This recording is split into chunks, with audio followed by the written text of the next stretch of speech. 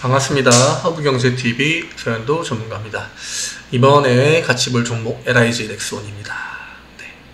뭐 LIG 렉스원과 관련해서 특별한 이슈나 뭐 그런 건 없고 제가 검색을 한번 해봤더니 이런 이야기가 나오더라고요. 네. 근데 어, 오늘 상승폭이나 이런 부분들을 봤을 때 사실 에, 그냥 저는 시장 반등에 조금 더 무게를, 무게를 두고 있습니다. 예, 시장 반등으로 인해서 지수에 좀 상응하는 그만큼만 딱 올랐다. 뭐 이게 진짜 특징주가 될 만한 이슈였다고 하면은 장 초반부터 팍 하고 올라갔어야 되지 않을까. 근데 지금 시, 지금 그 LIG 넥스원의 주가 위치는 어떠한 이러한 호재성 재료들이 어, 크게 영향을 미칠 자리는 저는 아니라고 보고 있습니다. 그래서 이런 것들은 크게 신경 쓰지 않으셔도 될 것 같고 아마 이러한 이슈는 좀 작용이 된다고 하더라도 좀 단발성으로 그칠 가능성이 높다. 그래서 오늘은 LIG 넥스원의 주가 위치와 관련해서 좀 더 이야기를 나눠보려고 합니다.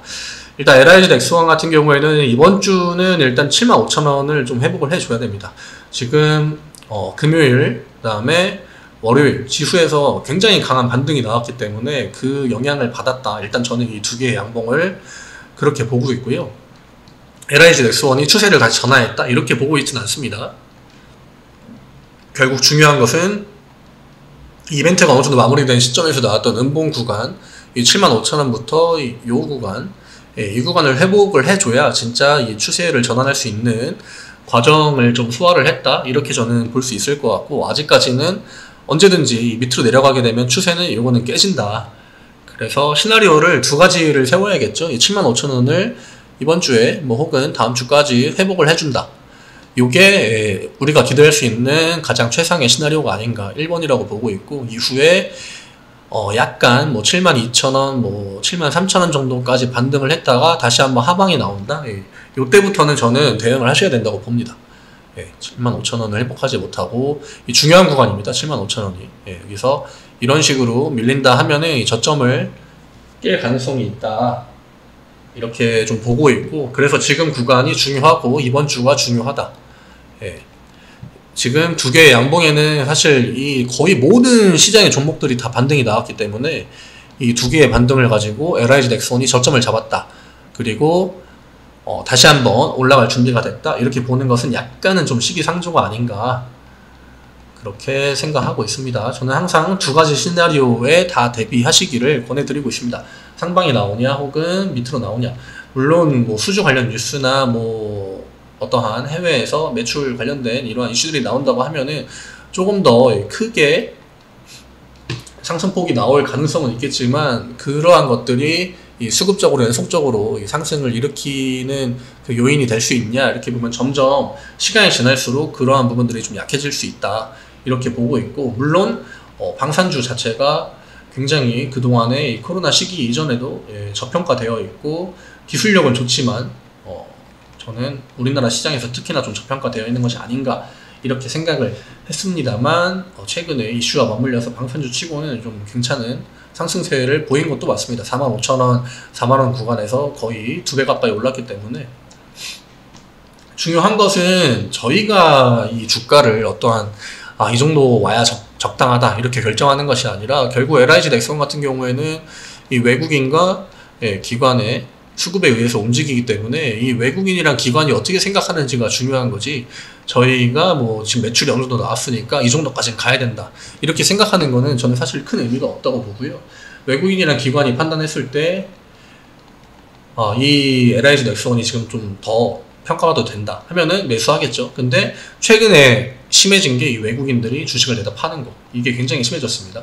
예, 뭐 환율 문제도 있을 거고 어, 미국 금리 문제도 있을 거고. 그래서 이 요즘에 그런 종목들이 좀 많이 보이는데 외국인이 매수하면은 기관은 팔고 기관이 매수하면은 외국인은 팔고 이런 종목들 때문에 주가가 굉장히 좀 답보 상태를 보인다거나. 근데 약간 눈치 게임을 하고 있는 것 같습니다. 서로 좀 먼저 팔려고 하는 그러한 그 눈치 싸움성 움직임이 이 주가에 보이는 것이 아닌가 이렇게 보여지고 오늘 같은 경우에도 일단은 이전에 LIG 넥슨 같은 경우에는 양매수가 그래도 좀 빈번하게 나왔었는데 오늘은 네, 외국인 매도 나왔고요. 외국인이 오늘 코스피는 굉장히 큰 폭으로 좀 매수를 해줬었는데 역시나 오늘도 이런 식으로 갈렸다. 그러면은 오늘 외국인 매수의 수급이 아마 전체적으로 균등하게 들어갔다기보다 좀 나눠서 일부 종목들에 들어갔고 기관은 외국인이 사는 거는 또 팔고 예, 그 다음에 외국인은 기관이 사는 거는 팔고 이러한 현상들이 오늘도 아마 어, 많지 않았을까 이렇게 보여집니다. 일단 외국인 매도한 거 좋지 않죠. 개인 매수한 것도 마이너스 요소입니다. 그리고 기관 매수했고 연기금, 상업펀드 투신 오늘 투신이 좀 매수를 많이 했고 금투는 오늘 매도를 해줬습니다. 어, 일단 오늘 지수의 흐름이 굉장히 좋았기 때문에 아마 그 장전에 분봉을 한번 볼까요? 네, 분봉 한번 보면은 오전에 한번 위로 쭉 올라갔다가 어, 그 지수가 꺾이나 하는 그런 구간이 한번 나왔었거든요 오전에.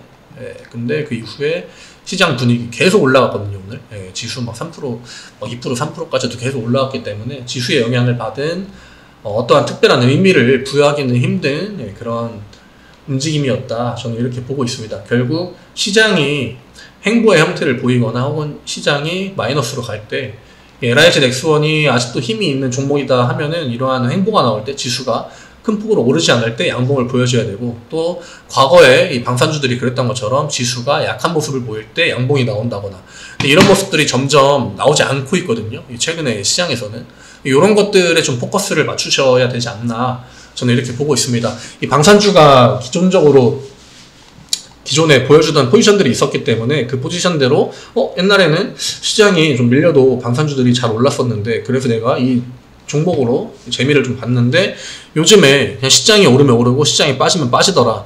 예, 이러면은 이 LIG 넥스원의 힘이 그러한 수급의 힘이 좀 약해진다. 이렇게 생각을 하셔야 됩니다. 그래서 저는 75,000원을 기준으로 잡고 이후로 이 밑으로 내려간다거나 혹은 위로 올라간다거나 밑으로 내려간다고 하면은 저는 어 당분간 LIG 넥스원이 이 과거처럼 시장에 좀 큰 힘을 받기에는 어렵지 않을까.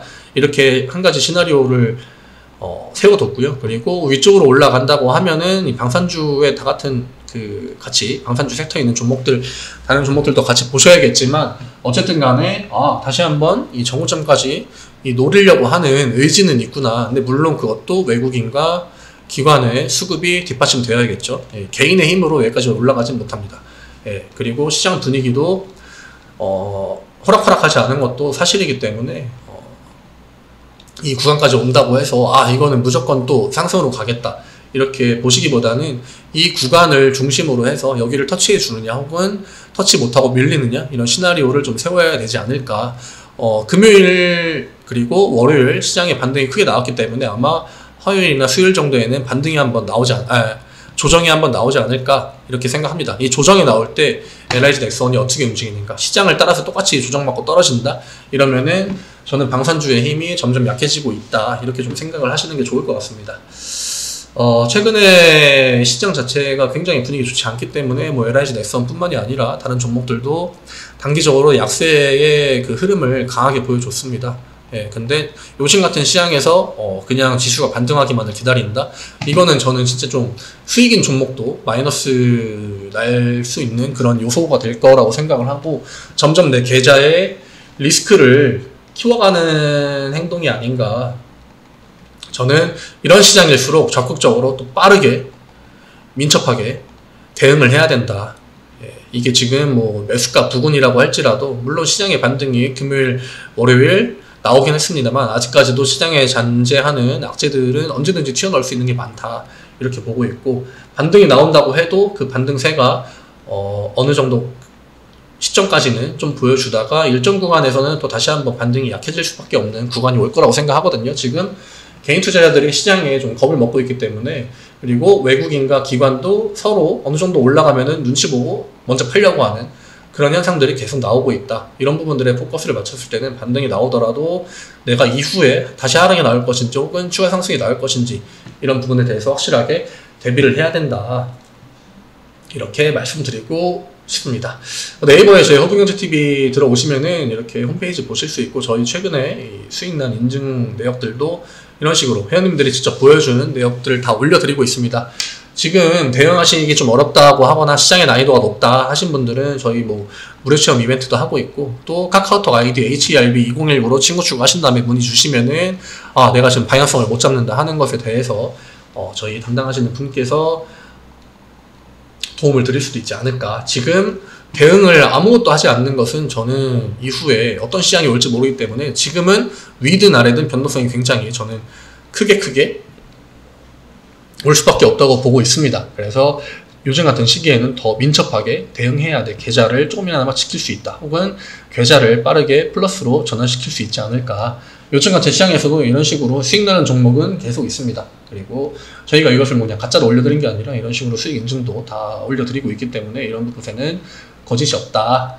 이런 종목들로 수익 내면서 현금 비중도 늘리고 나중에 뭐 LIG 넥스원이 추후에 뭐 주가 같은 조정을 받더라도 나중에 반등 나올 때 이쪽에다가 현금을 투자해서 더 빠르게 수익 전환할 수도 있고 예, 지금은 현금 비중을 조금씩 조금씩 높이면서 이 시장 리스크에 대비하고 그 중간중간에 현금으로 이런 식으로 단기 매매를 하는 것이 저는 포지션이 좀 괜찮다고 생각합니다. 네, 오늘 영상은 여기에서 마무리를 하겠고요. 어, 요즘에 진짜 주식 시장이 많이 어렵습니다. 난이도가 높기 때문에 개인 투자 하시는 분들은 점점 더 그 난이도가 높아지실 것 같고 언제든지 카카오톡 아이디 HERB로, HERB2019로 편하게 문의 주셔서 어, 이러한 이러한 부분 때문에 어렵다. 주식에 관한 것들 다 편하게 남겨주시기 바랍니다.